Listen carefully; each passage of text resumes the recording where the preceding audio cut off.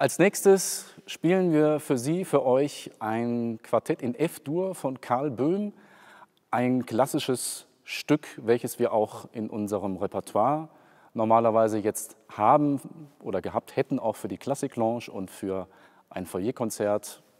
Vermutlich wird das Ganze nicht stattfinden. Wir warten mal ab, wir hoffen immer noch das Beste. Also Quartett in F von Karl Böhm, gespielt vom Alto Klarnettenquartett. Viel Spaß.